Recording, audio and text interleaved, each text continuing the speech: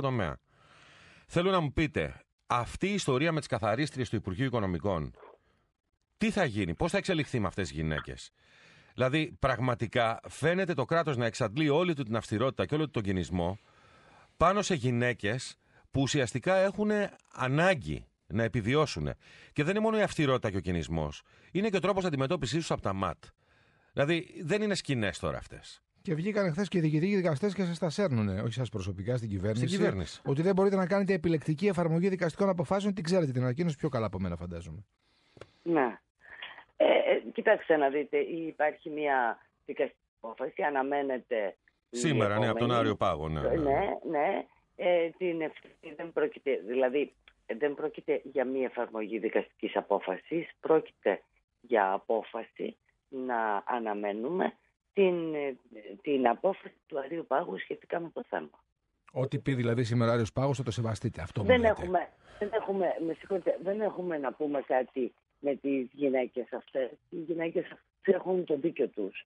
Απλώς ε, πρέπει κάποια στιγμή και, και έχουν το δίκιο τους, δηλαδή έχουν χάσει τη δουλειά τους και θέλουν να εργαστούν. Και έχουν δικαιωθεί κιόλας πρωτόδικα.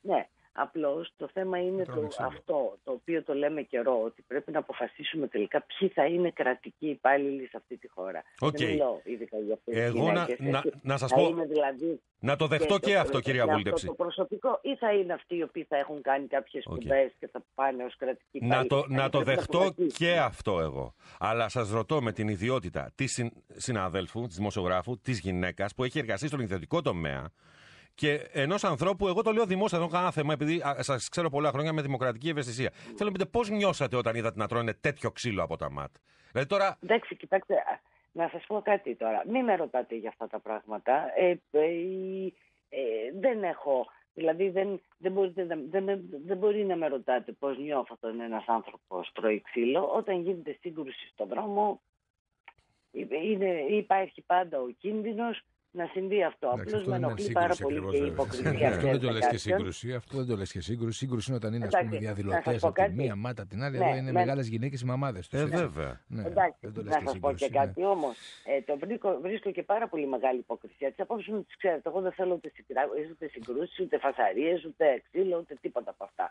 Λοιπόν, αλλά είναι πάρα πολύ μεγάλη υποκρισία από κάποιους που μας έδειχναν ως πρότυπο τη Βραζιλία, όπου εκεί πέρα πέφτουν ας πούμε, τα δακρυγόνα ε, και το ξύλο. Έτσι, αυτό. Ναι, να, Τώρα... να λέμε, να, να, δηλαδή, φυσικά σε κανέναν μας δεν αρέσει αυτό. Σε ποιον δεν αρέσει δηλαδή. Τώρα, ο, τώρα λοιπόν, για να κλείσουμε, επειδή ξέρουμε ότι έχετε και υποχρεώσεις και άλλες τώρα τηλεοπτικές εκεί που είστε, mm. ε, μια ερώτηση που είχαμε πει ότι